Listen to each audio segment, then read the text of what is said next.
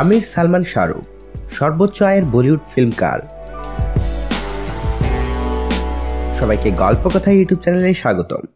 সর্বোচ্চ কামাই কর্নেওয়ালা বলিউড ফিল্ম কোনটি? এই প্রশ্নের উত্তর সময়ের সঙ্গে পাল্লা দিয়ে পাল্টায়। তবে হালামলে বলিউডের সাম্রাজ্য চালানো তিন খানের একের পর এক ছবি রেকর্ড ভাঙা ব্যবসা করে চমক সৃষ্টি করেছে। সম্প্রতি বলিউডি হিট লিস্ট ছবির টপ টেনে তালিকায় দেখা যায়, লাগান আর থ্রি ইডিয়টস খ্যাত পারফেকশনিস্ট আমির খানের তিনটি ছবি। কিন্তু একই তালিকায় বিটাউনের ভাইজান হিসেবে খ্যাত সালমান খানের রয়েছে চারটি ছবি। বলিউড বাদশাহ হিসেবে খ্যাত শাহরুখ খানের খবর নেই। এখানে যেন তাকে পাত্তাই দেননি অপর দুই খান। তবে ভারতীয় সিনেমা হলগুলোর হিসেবে সর্বোচ্চ আয় করা দশটি সিনেমার সাতটি দুই খানের দখলে থাকলেও টপ টেনের শীর্ষ দুটি ছবিতে কিন্তু নেই তারা। সেখানে যথাক্রমে অবস্থান নিয়েছে বাহুবালি টু ও বাহুবালি দ্য বিগিনিংস। শুধু অর্থ উপার্জনের দিক দিয়েই না, দর্শক সমালোচকের প্রশংসাও ধন্য এসব ছবি।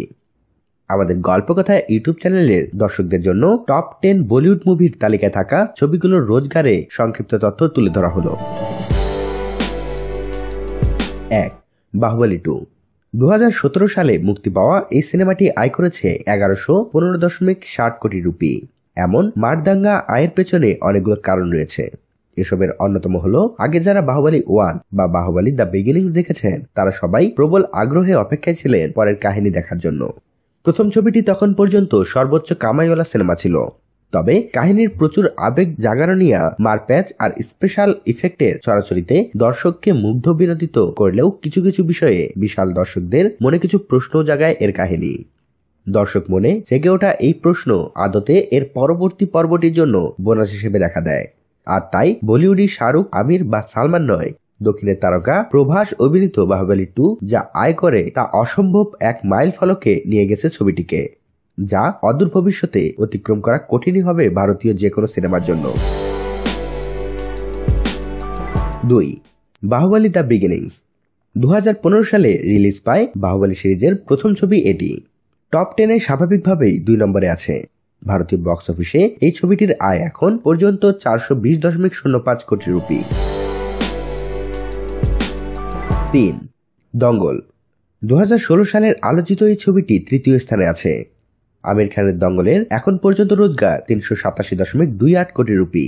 দক্ষিণী দুই ছবির পর টপ টেনে অন্য খানদের ছাড়িয়ে প্রথম স্থানে আছে আমিরের দঙ্গল। চার টাইগার জিন্দা হ্যায়। সালমান ও ক্যাটরিনা অভিনীত থ্রিলার ধর্মী এই সিনেমাটি গত বছরের শেষ দিকে রিলিজ হয়ে বছরের অন্যতম সফল প্রোডাকশনের মর্যাদা পায়। এর আগে একই জুটি অভিনীত একটা টাইগারও ব্যাপক সাফল্য অর্জন করেছিল। এদিকে এখন পর্যন্ত ভারতীয় বক্স অফিসে তিনশো আটত্রিশ দশমিক নয় ছয় কোটি রুপি আয় করে ফেলেছে টাইগার জিন্দা হ্যায়। ছবিটি অনেক জায়গায় এখনও চলছে। পাঁচ, পিকে। দু হাজার চোদ্দ সালে রিলিজ পাওয়া পিকে এখন পর্যন্ত তিনশো সাঁত্রিশ দশমিক সাত দুই কোটি রুপি আয় করেছে।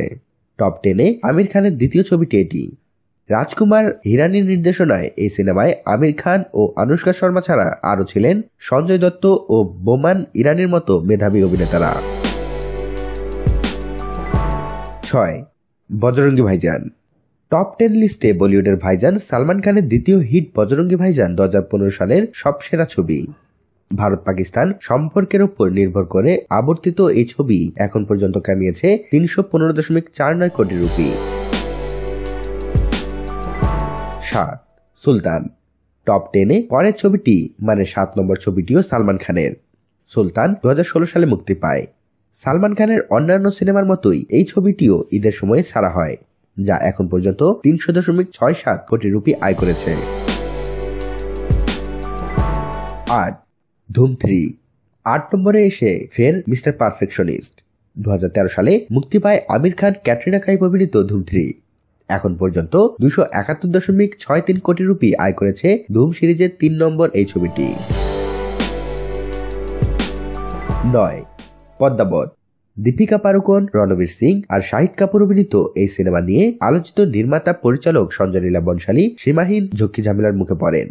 শেষ পর্যন্ত অনেক নাটকীয়তার পর ছবিটি মুক্তি পায় এবং রোজগারের ভিত্তিতে এটি শীর্ষ দশের নয় নম্বরে অবস্থান করছে। এখন পর্যন্ত এর আয় দুশো উনসত্তর দশমিক পাঁচ শূন্য কোটি রুপি। দশ। কি? শীর্ষ দশের শেষ ছবি মানে সালমানের কিক এটি রিলিজ হয়েছিল দু হাজার চোদ্দ সালে। একই বছর আমির খানের পিকে মুক্তি পায়, যা এই লিস্টে পাঁচ নম্বরে আছে। কি দুইশো এগারো দশমিক ছয় তিন কোটি রুপি আয় করেছে এখন পর্যন্ত। আর্থিক সাফল্যের বিবেচনায় তৈরি বলিউডি সিনেমার টপ টেন লিস্ট পর্যালোচনায় দেখা যায়। এক হাজার একশো ছেষট্টি দশমিক সাত পাঁচ কোটি রুপি কামাই করেছে টপ লিস্টে থাকা সালমান খানের চারটি ছবি টাইগার জিন্দা হ্যাঁ বজরঙ্গি ভাইজান, সুলতান এবং কেক অপরদিকে আমির খানের তিনটি ছবি যথাক্রমে দঙ্গল, পিকে ও ধুম থ্রি আয় করেছে নয়শো ছিয়ানব্বই দশমিক ছয় তিন কোটি রুপি।